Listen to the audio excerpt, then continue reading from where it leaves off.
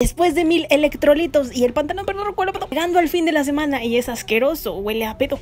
Pero terminamos a Miriam justo a tiempo. ¿La quieren ver? Pues no, todavía no. Les voy a subir el proceso. Ahí se alcanza a ver un poquito. Apagaré la luz y me voy a ir a bañar y a quitarme la mugre. También vean los dibujos que tenemos de Red, un cuadro gigante y mugre. Deje horrible mi lugar de trabajo.